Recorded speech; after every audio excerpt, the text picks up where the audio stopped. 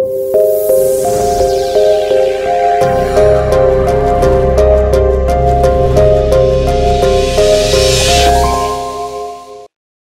like to start by acknowledging the traditional owners of the land in which we meet and pay my respects to their elders past, present and future.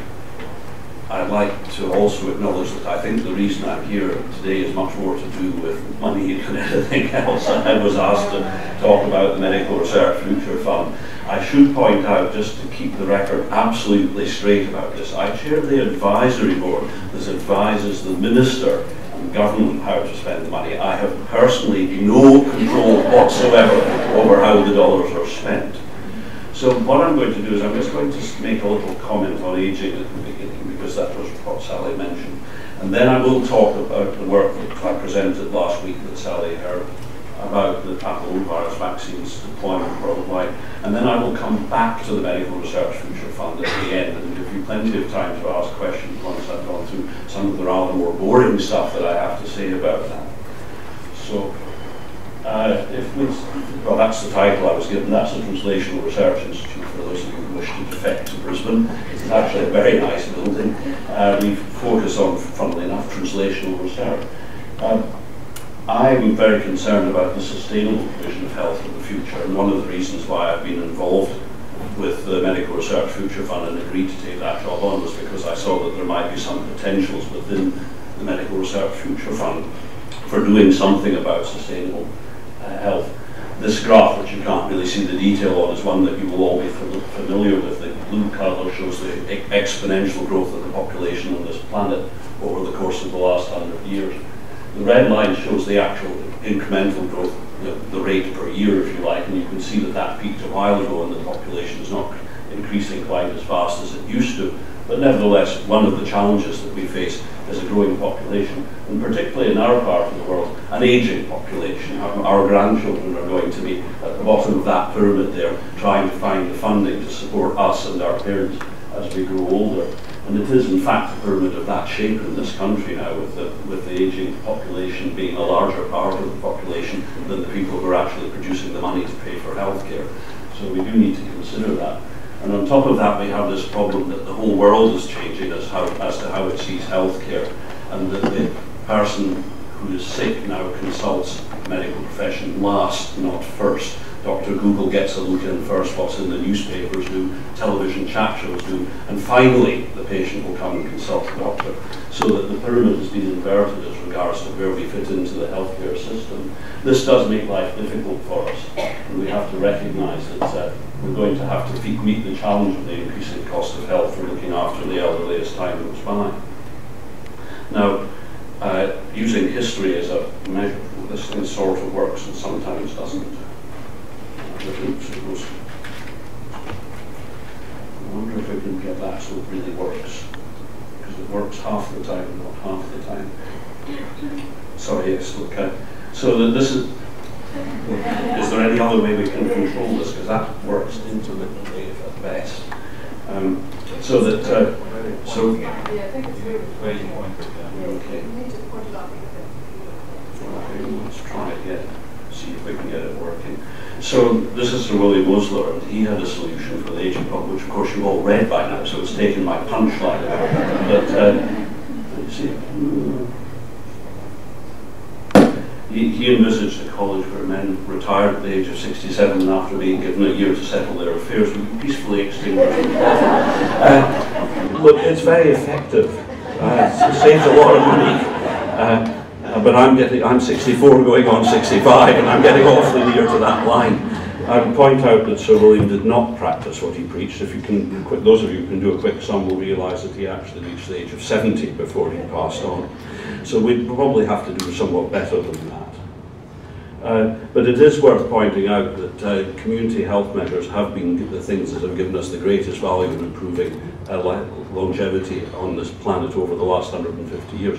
The line just shows the, exponent, the exponential, well, it's actually linear increase in aging, uh, the age of average death on this planet since 1840. Uh, prior to 1840, it was pretty much a flat line on average. But from 1840 two revolutions made a big difference. One was the agricultural revolution and the other was the industrial revolution. Could have been the French and the American revolutions, but it wasn't. It was agricultural and industrial. And that gave us safe food and water and a huge increase in life expectancy, particularly in the industrialized world. The, of course, my interest in infectious disease, vaccines and antibiotics added a considerable amount onto that in the 20th century and all the rest of medical research, just a tiny little bit at the top. Uh, but of course, that's not really what life is about. It's not necessarily about how long you live. It's about what quality of life you have.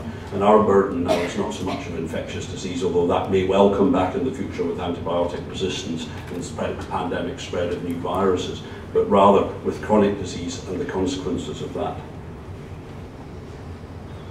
So the economists, and I'm sure there might be a couple of economists in the room here, there usually are, they're very interested in uh, cost effectiveness of the health services. And this is a graph that we use when writing the McKeon Committee report, basically pointing out that you can value individual services according to the value in terms of quality adjusted years of life that you get versus the cost. And obviously I'm interested in the bottom left hand side of that graph where vaccines sit, where the return on the investment is reasonably good, along with uh, public health education.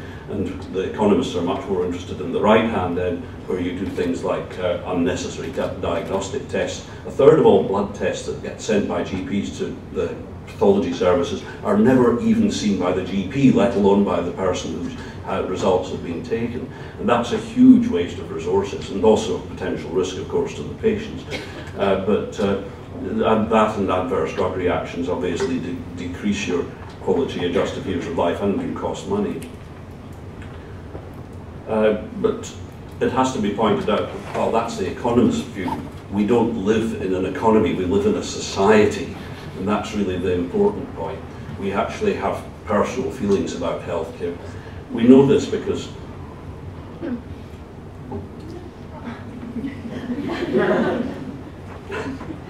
I'm obviously an amateur at driving this. I usually don't have that problem. Uh, we spend about uh, 2.1 billion a year on drugs that are prescribed by a doctor. Uh, and these, obviously, we hope are useful drugs, although some of them probably aren't. But we actually spend just as much on over-the-counter vitamins and mineral supplements every year, which are of no value, proven of no value, not just not proven to be valuable, but proven of no value.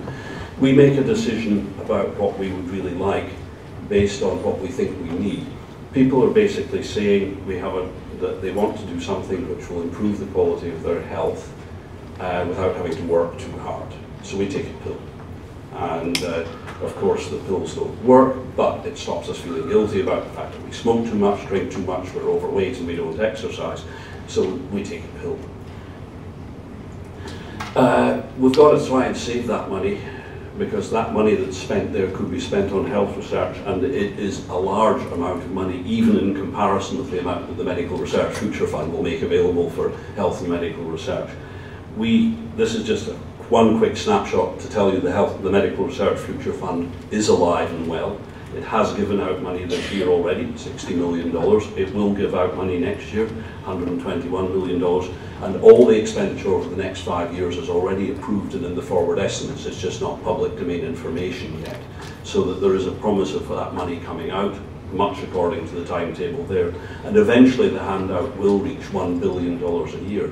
But just remember that I just told you that we effectively waste $2 billion a year on drugs that we don't really need, that don't do any good, and that we take to salve our conscience about not behaving ourselves. So we have to also get education into the system somehow.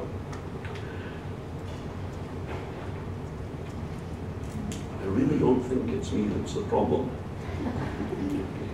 So I'm going to give a talk now, which I gave last week, which is basically the, the theme of the conference was about global equity and discovery science, and the, the, the proposition was that we get that basically we make the disparity between rich and poor worse by the technologies in health that we introduce.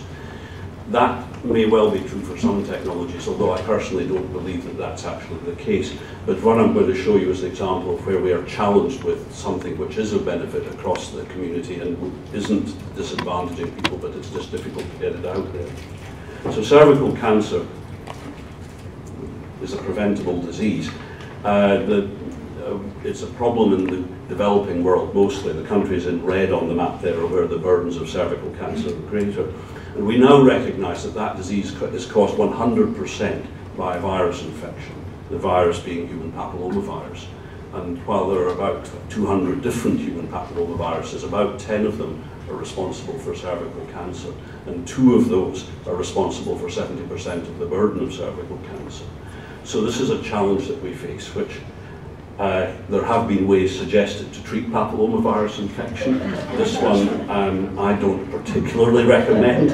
On the other hand, 560 people on Facebook actually do recommend it. Uh, it's a little worrying, but to be a little more serious about it, the way that we actually treat cervical cancer at the moment is not that different from a shotgun. It's destructive therapy and not particularly pleasant and it doesn't always work. So it would be much better if we could prevent the infection in the first place. And preventing papillomavirus infection is what the vaccine, of course, is all about. So Harald zur Hausen made that possible by the discovery back in 1980 that papillomaviruses were responsible for at least some cervical cancer. Uh, these viruses are uh, ones which we can't grow in the lab. Most vaccines are made by growing up viruses in the lab and either killing the virus or rendering it safe so it won't cause disease, and then using that to induce immunity protection against infection. But uh, this particular virus only grows in skin and will not grow in the lab. Fortunately, in 1990, my colleague Jian Zhou and I came up with a technology which allowed us to make something that looks like the virus in the lab. We used recombinant DNA technology, which was a new technology then, to make these virus-like particles, which look sufficiently like the virus empty they are, but they are, the, the coat is there, and that coat induces a protective immune response. It took 15 years for the companies to turn what we could do in a swimming pool into uh, a test tube into what they could do in a swimming pool. We do lots of interesting things in swimming pools, but that's another story. Uh, the, uh, the cost of the work that we did was about $100,000. The cost of what the companies did was about two billion dollars. Now that's again two billion dollars that we could save from not using non-prescription drugs. Funny how these figures keep coming back to haunt us, but the point is we now have a vaccine and it works and it is 100% effective for practical purposes at preventing the pre-cancer condition that we have to treat CIN3, which is what you find in an abnormal pap smear that requires treatment so long as you only test whether the vaccine is working in people who've not yet been infected with the virus. If you've already been infected with the virus, the vaccines do nothing. They do not alter your risk of future disease. And of course, the vaccine that we currently have only protects against two strains of the virus, which is responsible for about 70% of cancer. Though the new one, which is coming out next year, which is based on the same technology, protects against nine strains of the virus and basically 95% of cervical cancer. These vaccines do work, uh, but they only work if you get them before you get the virus. So if you immunise a cohort of women who are under 14, these are data for Julia Brotherton and her colleagues, uh, you can see that the vaccines give you about 70% reduction in the risk that you will get cervical precancer, also infection. That's what you'd expect because these viruses, the two viruses that are in the vaccine, are responsible for about 70% of cervical precancer. So that's a good result, that's what we'd expect.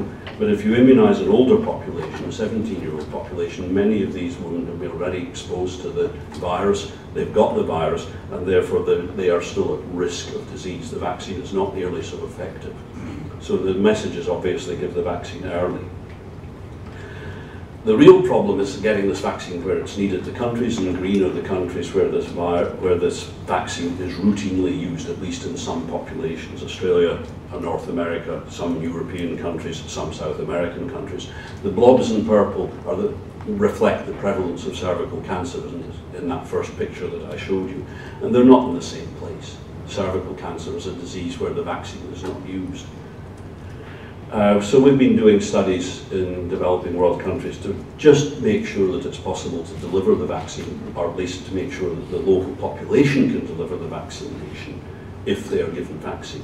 So Vanuatu is a near neighbour island of Australia, and it has a major problem with cervical cancer. It's also a very poor country with, with a a, a true GDP of less than 300 US dollars a year once you, once you discount all the money that the Australian banks siphon through Vanuatu, which actually puts that figure up to about $2,000 a year. But that's money that the local population never see. So cervical cancer is a very common disease there. We surveyed 500 well women in Port Vila, and five out of the 500 had cervical cancer walking the streets. They didn't know they had it and another uh, 40 or so had pre-cancer that would progress to cervical cancer in their lifetime. So the real challenge, obviously, is to get the vaccine into that community. And we thought it might be difficult to get the kids to come back to get three shots of vaccine. So we did a study where the hypothesis was that we needed to give them a reminder to come back. As it happens, we didn't need to give them the reminder, so I'm not going to talk about that study anymore. But I can show you that we could deliver the vaccine there. The challenge in Vanuatu is that you've got a small population, quarter of a million people spread over a large number of islands, uh, with very little in the way of medical attention, only 25 doctors for the whole 250,000, which is not a good ratio. But a much worse ratio is the ratio of parliamentarians to doctors that they have there, uh, four parliamentarians for every doctor. Uh, Canberra would be very, very full if we had that ratio here. And, we, and they have no vaccine fridge there. It's in the French hospital. It had an earthquake 30 years ago. The hospital's falling down. The vaccine fridge is in the basement, and it's the only bit of the hospital that's still used. So it's no surprise that it doesn't always work.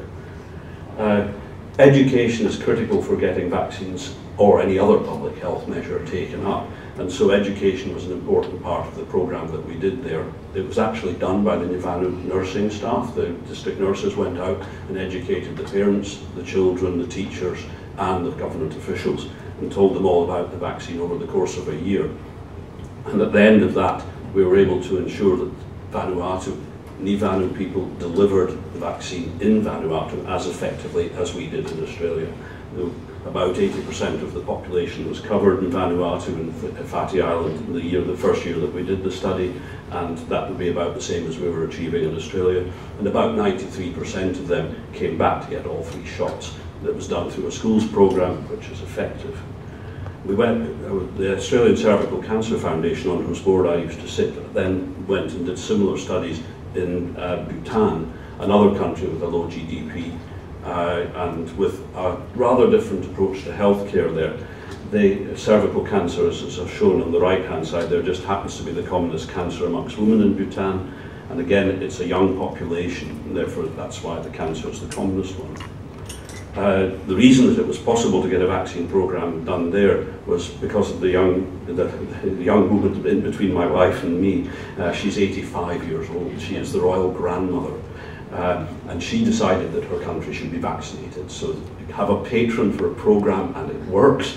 Uh, she, the, within a year of her deciding kids should be vaccinated, all of the school-age kids of the right age were vaccinated, or so they say. It certainly must have been approximately right given the population demographics there. The interesting thing is what happened the following year because they changed the program from being delivered in schools to being delivered in district health clinics and the, and the uptake of vaccine halved. And that carried on for three years and then they went back to giving it in schools again and it went back up to near 100% coverage. Message is very clear, catch them while they're young, catch them while you can get them. So this is the bit that I find a bit distressing. You know, 10 years into the program, we've had this vaccine for 10 years. We've delivered over 200 million doses of vaccine worldwide.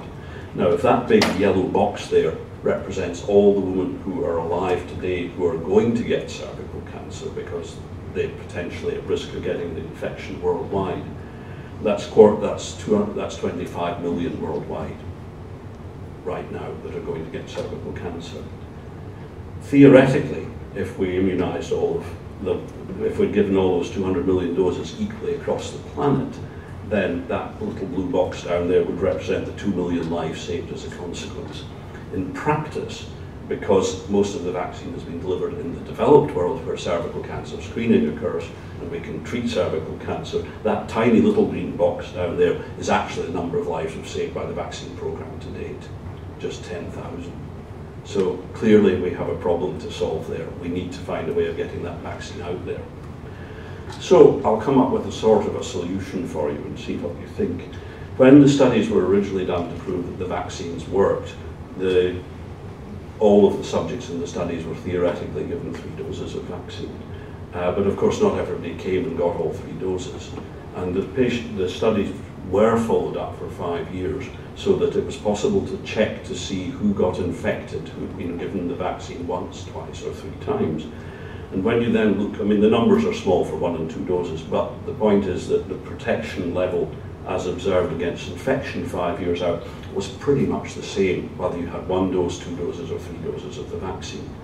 So that the reality is that you could start to think about this as an epidemic disease, not an endemic disease, and do mass immunization to control a virus which only infects humans.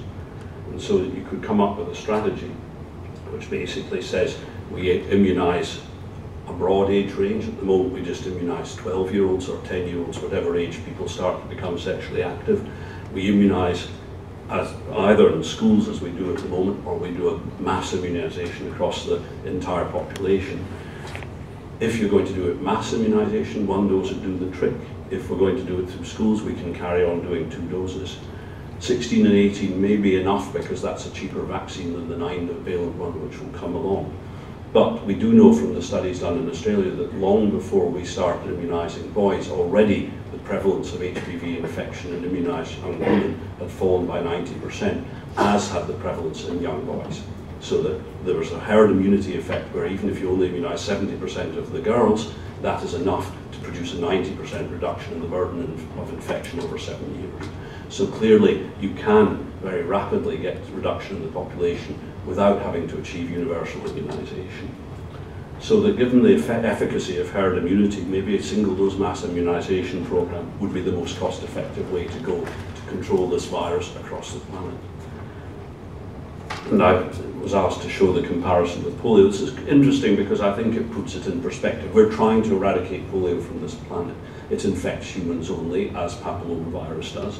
Lifetime risk of getting the infection, it in the pre-vaccination era was about 50% for both viruses.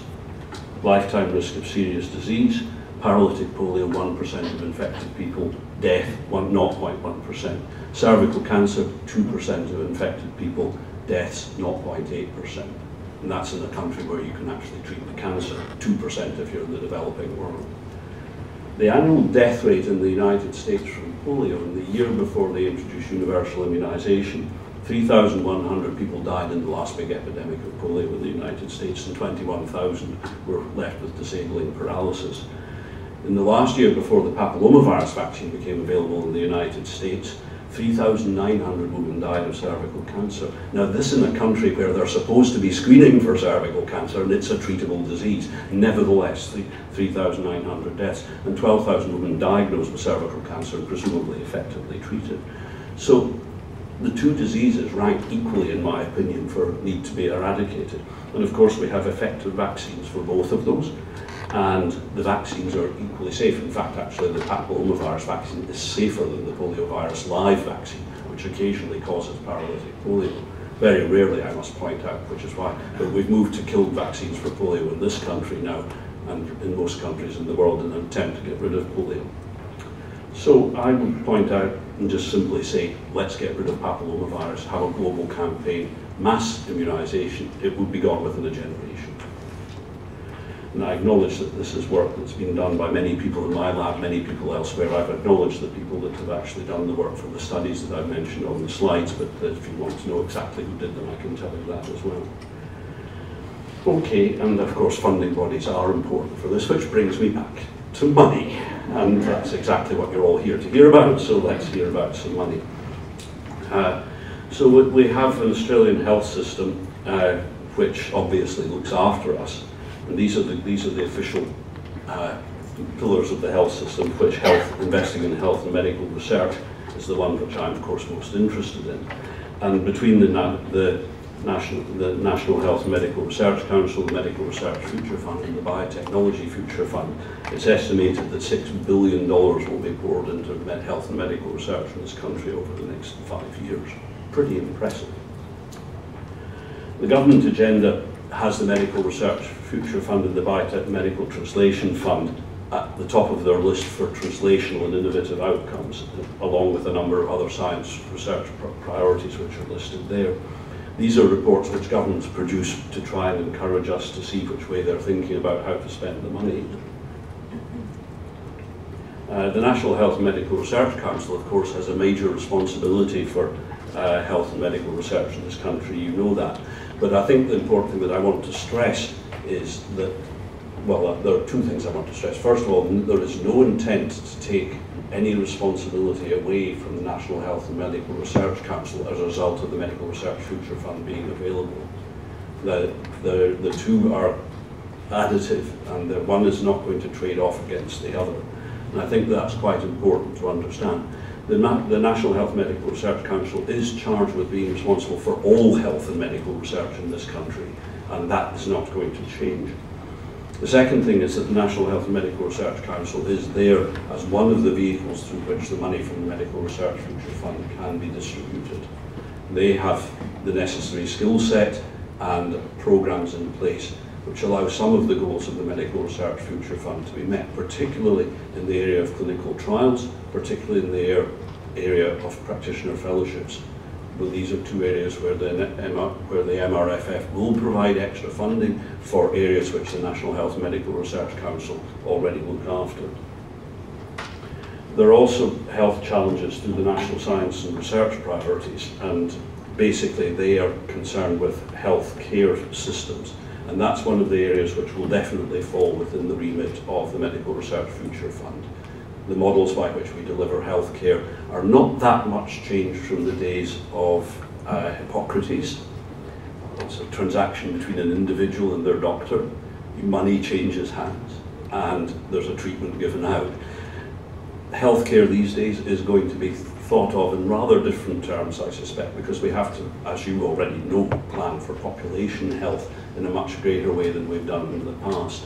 I mean, we do these population health things, but we do not use the population as a database for helping us to plan health better, except, of course, for the 45 and up uh, program and a few similar programs which are designed specifically to do that. So you're in a good space because it's an area where, with increasing interest in personalised medicine, precision medicine, and big data, things are going to change in the future. And the Medical Research Future Fund is certainly charged in some senses with responsibility in that area. Uh, the, the NHMRC is formally charged, by the way, with supporting the delivery of funding from the Medical Research Future Fund, but it will not be the only vehicle through which that is done.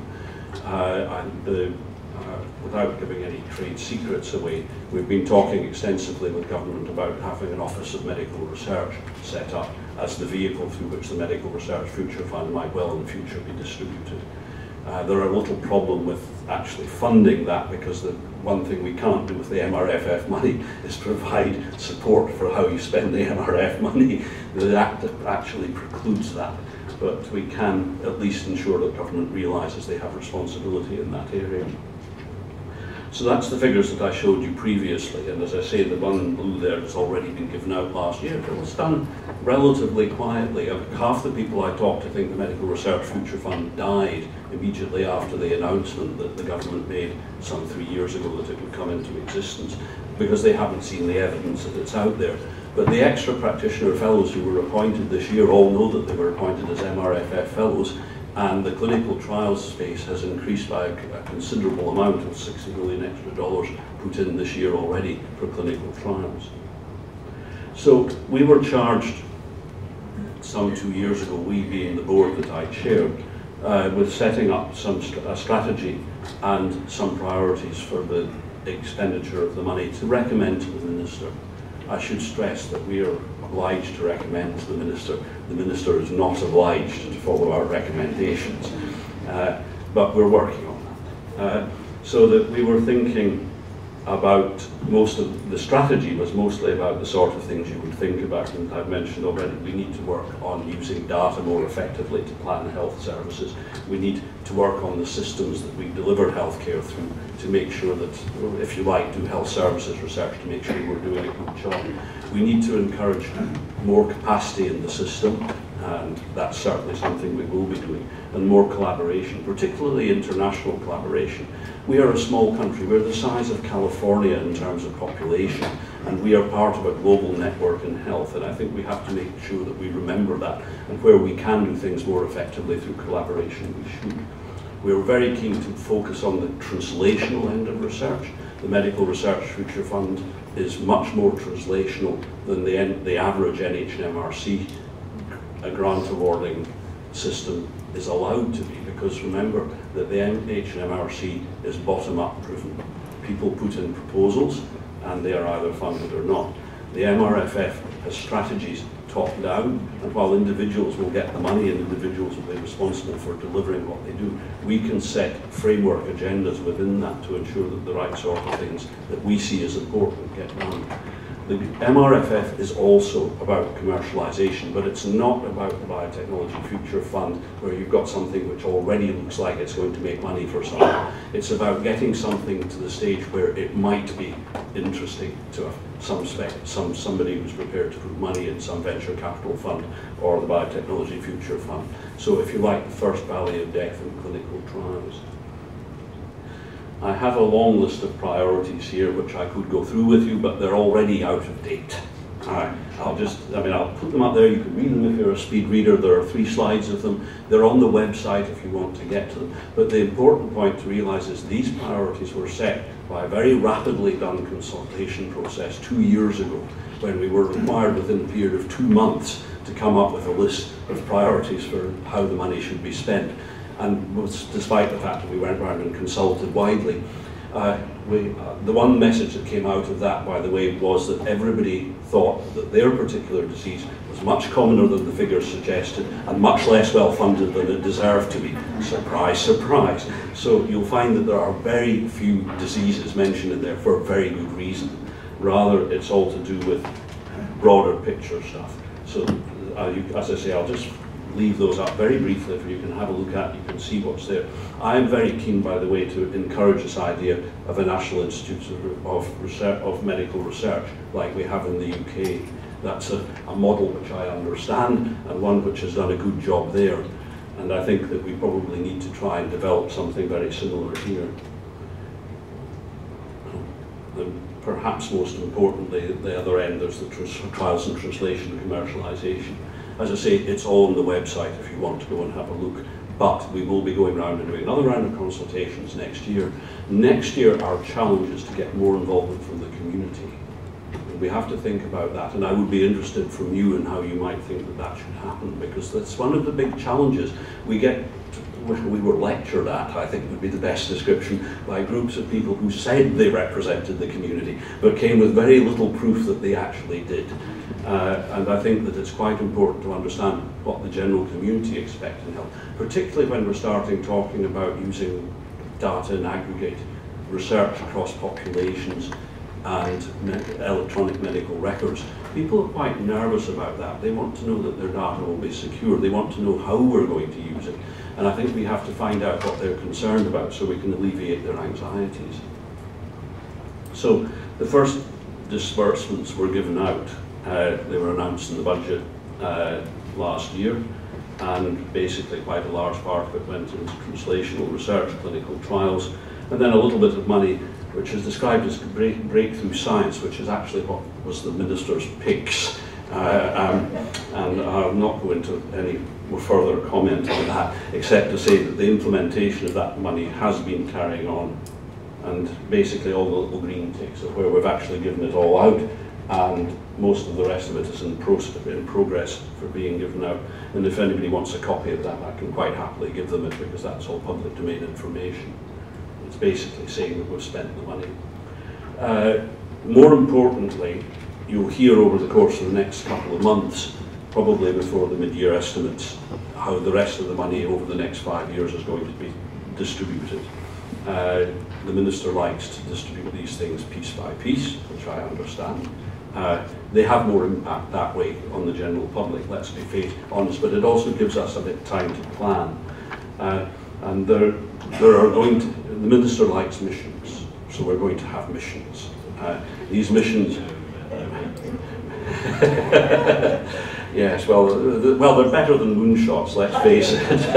There's only one moon, you can only shoot it at once. Um, but the, there will be quite a lot of money for pro programs for where people get together with a vision of something that they can do usefully together in five years. World class, best people in Australia, and needing a significant amount of money to get it to happen. And this will be a big opportunity for people who, like the 45 and Up project, where you can come up with something that will be deliverable within five years. Um, and it will complement the activities of NHMRC. It will not supplant any part of that. And we're working on the administration strategies. But there will be quite a large chunk extra for clinical trials, for clinical training and research, something which has been really underdone in this country. I don't know how it is in your state, but in our state we lost a whole generation of clinical researchers when the government moved to funding for service delivered rather than funding hospitals because suddenly there wasn't any money for training researchers, not clinicians and clinician researchers anyway. Uh, my job as chair of the advisory board is to keep the government honest um, and my board and I try to do that as best we can. We have passed through the Minister, approved by him and Cabinet, a set of principles under which the money is to be dispersed. Basically, those principles say that all funding must be open and competitive. Uh, that doesn't mean it will be open in the sense you can do anything you like with it, but within the area that the call for proposals might be made, there has to be an open and contestable process. And there will be peer review and there will be uh, uh, follow up on how you're using the money. I mean, there will be performance indicators, and if you get five years of money, you probably better be meeting your performance indicators because there will be control over that in a way that doesn't happen with NHMRC funding at the moment. We will be looking, I mean, the focus on burden and unmet needs, needs is a, a minister speak for saying I would like to have a few of my own projects, thank you very much and we will obviously have to recognise that governments have to look after what they see as important as well as what we see as important. But there will be major changes in the way that things get done about the way the money is given out. It's not just another NHMRC. And we will be consulting extensively over next year about the priorities for the future. We're charged with doing them every two years. I'm kind of hoping they won't change too often, because uh, otherwise we're going to be chopping and changing a lot, but we do need to consult more than we managed at the time to do last time around. The Biomedical Translation Fund and us, we trying to work together, you know, that we should be meeting a bit of the process of getting things which might become commercialised to the point where the Biomedical Translation Fund see it as desirable. We kind of hope that we could partner with them, but the way that they're set up, it doesn't really work quite like that. So we just have to look for opportunities that might lead in that general direction they're spending their money reasonably well, but they also have to try and return a profit, whereas we don't. So uh, we are very clearly in the space of leading into things, and we don't mind if the money goes out there and there's no profit involved, so long as it's well used. Uh, so clinical trials capacity improvement is something which everybody was asking for. That was the one universal feature of the request we got from virtually every group that we consulted with last year.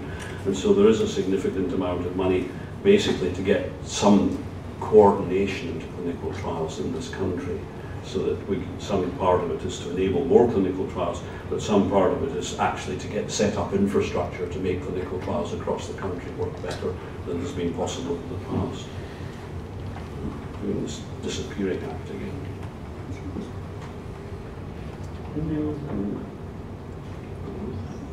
No, no, perhaps not that one. Never mind it's pretty much done anyway, actually. Uh, see if we can get it to go back to where I was. No, maybe not. Okay, well, look, yeah, there we go. Yeah, that's fine. That was maybe the last slide. Accusing people inappropriately. Uh, look, we, that, that, what I've tried to do is give you a little snapshot of what is going on and what will go on. It is going to be a case of watching the space for opportunities. Uh, but they will be more extensively advertised than we've been doing up till now because obviously first of all there's more money and secondly last year we really had to deliver what the minister would have called shovel ready projects the money had to get out the door by an appropriate date and therefore it had to be spent pretty quickly. Now we have time to plan, and therefore there will be much more consultation both about uh, what we will be doing in the future and making sure that you collectively are aware of how the money is being distributed, where it's meant to go, and the opportunity to talk with us and the board about things. But one request, please, do not lobby the minister. He's had 300 submissions to him personally, ranging in scope from $10,000 requests to the biggest one was a $100 million request and all he does is send them to us, and all we do is file them. So please just work through the system. Do not use the minister as a conduit to getting the money. Thank you very much for your attention.